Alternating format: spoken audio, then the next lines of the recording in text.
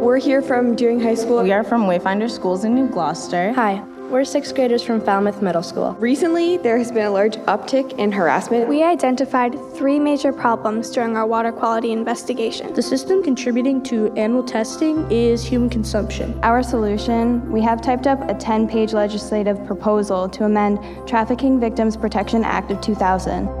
The Solutionary Program is an initiative of the Institute for Humane Education to give young people the tools, the skills, and the preparation to be solutionaries able to solve real world problems through their school curricula. The main reason I adopted this program in my classroom is the idea that it, it took things to the next level by going into the action mode. For me as an educator, my goal for my students is for them to become good global citizens, and I feel like this is a really direct way to help them practice those skills. Having the stakes be a little bit higher than just presenting to your teacher, which is important, but having a little bit more of a wider audience, a little bit more impact, and the ability to maybe actually make the change and not just making a PowerPoint about something. And that's our goal, is to make change makers for the future. And I feel like this unit for these sixth graders is going to affect them in lots of parts of their lives now, as well as in the future. Because it affects everything. The future generation is going to be empowered soon. And if they're not educated and capable, then we're in trouble. I honestly believe the way that the solutionary program works and the approach that they take to education, that should be infused into all aspects of education with our students. A lot of it is really up to the students,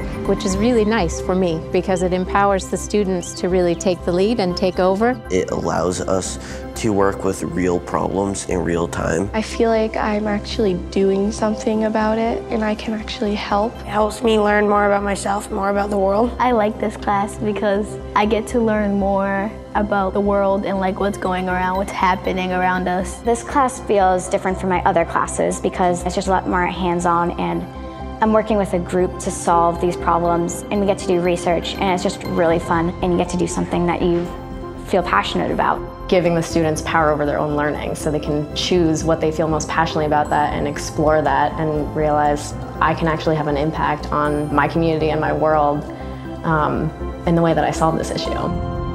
So right now we're focusing on being an active bystander, so intervening in a situation where somebody may be being harassed, whether it's in school or outside on the streets. It's cool for us to learn this training and to teach others so that we can get them help. We're going to be there to help the person that is being harassed. This class has given me the skills and the confidence to do it.